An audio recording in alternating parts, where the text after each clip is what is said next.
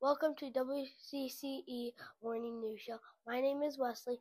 Emma and I will be your news anchors for today, Wednesday, September 25th, 2024. Did you know that today is National Comic Book Day? Here's Emma with the weather. The current temperature in Lake Wylie, South Carolina is 68 degrees. Today's high is 85 degrees. The low for tonight is 69 degrees. The forecast for today is cloudy and humid again. Please stand for the Pledge of Allegiance.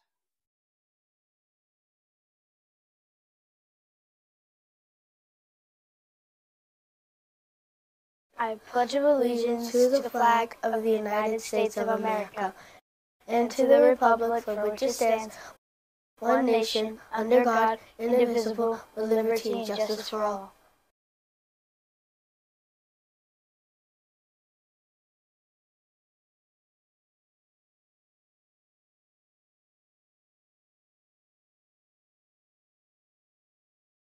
I salute, I salute to the flag of South Carolina and pledge to the Republic state.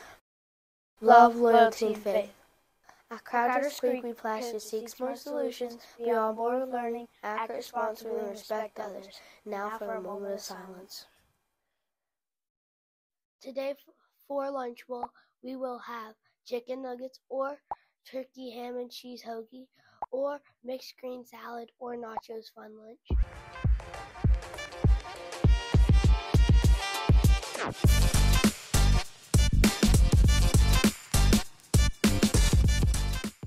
Good morning, students and staff. I have a very special visitor here with me. I have a third grader, our first third grader, who is on the SOAR sofa. I have Albert here, who's being recognized by Miss Davis for really doing all the soaring behaviors. She says he is a rocking third grader. Since beginning of the year, he has been displaying all the characteristics of a soaring student.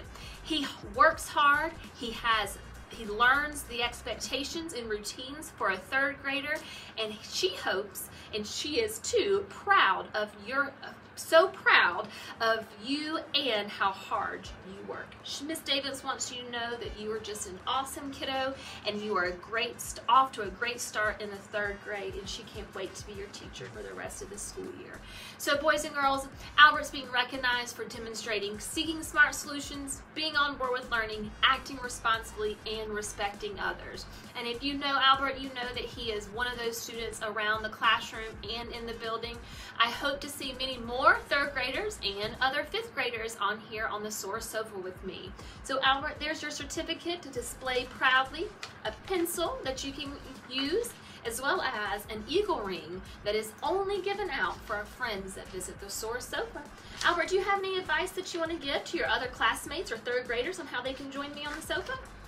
Always be respectful to others. Respectful to others, absolutely, boys and girls. So take that advice, and I hope to see you soon.